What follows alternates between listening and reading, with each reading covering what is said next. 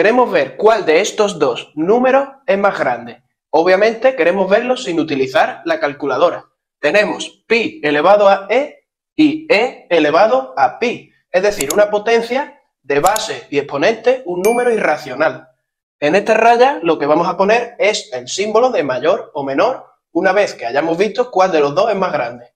Entonces, ¿cómo lo vamos a calcular? Pues bien, lo primero en lo que nos vamos a fijar es que tanto el número e como el número pi son números positivos. Entonces, si tenemos una potencia a elevado a b y tanto el número de la base a como el número de la, del exponente b son positivos, entonces la potencia será un número positivo, un número mayor que cero. Entonces, sabiendo esto, lo que podemos hacer es tomar logaritmo neperiano en ambos números. Es decir, vamos a tener el logaritmo neperiano de pi elevado a e, una raya porque no sabemos cuál va a ser mayor o menor, y el logaritmo neperiano de e elevado a pi.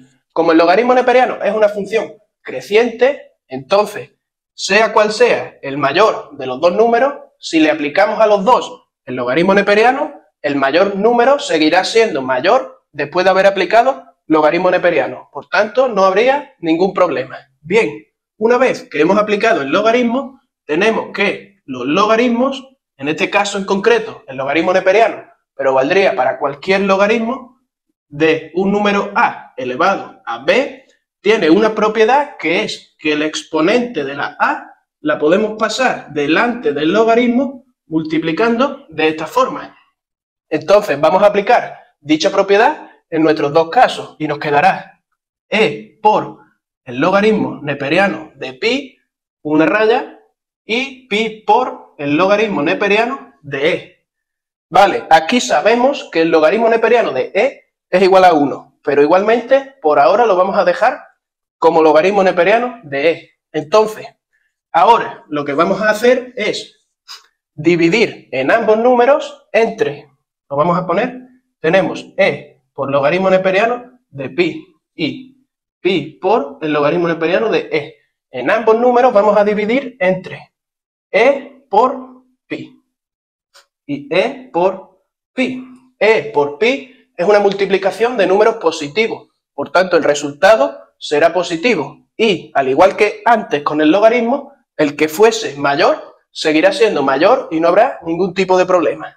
¿Qué pasa una vez que hemos multiplicado en ambos lados? Pues que la E y la E en este lado se va y pi con pi en aquel lado se va. Por lo que nos va a quedar logaritmo neperiano de pi partido pi, una raya, y logaritmo neperiano de E partido E. Entonces, vamos a ver ahora qué es lo que pasa. Como podemos observar, tenemos logaritmo neperiano de pi partido pi y logaritmo neperiano de E partido E. Por tanto, lo que vamos a hacer es esto lo vamos a dejar por un lado y vamos a tomar la función f de x igual al logaritmo neperiano de x partido x para x mayores que 0, que es la función que si nos fijamos tenemos en ambos lados. Por lo tanto, lo que vamos a hacer con dicha función es hallar su monotonía, sus máximos, sus mínimos o los que tenga, y así poder ver cuál de estos dos valores es el mayor. Entonces, ¿cómo vamos a ver la monotonía de una función? Pues tendremos que hacer la derivada de la función e igualarla a cero. Entonces, vamos a empezar por la derivada. La derivada de f, f' de x, es una derivada de un cociente. Por tanto, vendrá dada como la derivada del logaritmo, que es 1 partido x por x sin derivar, menos el logaritmo neperiano de x por la derivada de x, que es 1, partido x al cuadrado. Entonces esto lo vamos a apañar un poco y nos va a quedar abajo x al cuadrado. Ahora, 1 partido x por x es 1, y logaritmo neperiano de x por 1 el logaritmo neperiano de x. Y esto, como hemos dicho, para hallar los extremos relativos, lo igualamos a 0. Por tanto, igual a 0. ¿Cuándo 1 menos logaritmo neperiano de x partido x al cuadrado va a ser igual a 0? Pues cuando el numerador sea 0, es decir, cuando 1 menos el logaritmo neperiano de x nos dé como resultado 0. ¿Esto cuándo va a pasar? Pues cuando 1 menos, cuando 1, perdón, cuando 1 sea igual al logaritmo neperiano de x. Aquí, tomando e como base de la potencia en ambos lados, tenemos que e elevado a 1 es e y que e elevado al logaritmo neperiano de x es x. Por tanto, el logaritmo neperiano de x es igual a 1 cuando la x vale e.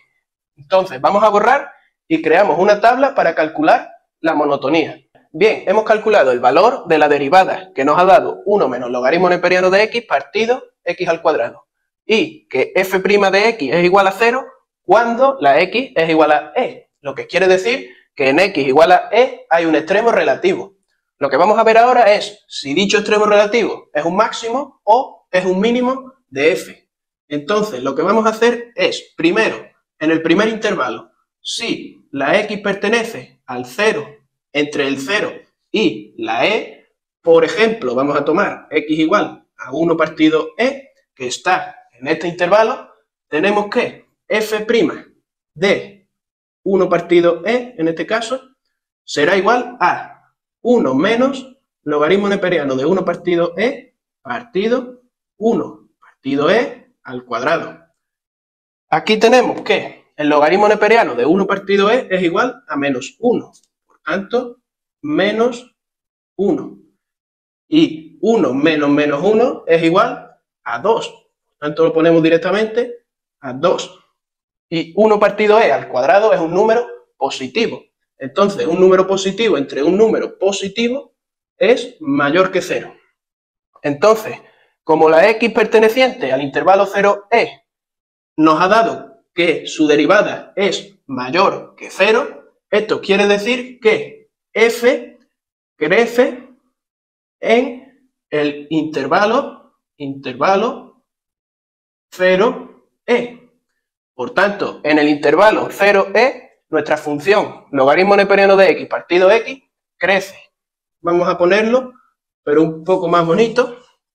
Tenemos que, si x pertenece al intervalo 0e, f' de x es mayor que 0.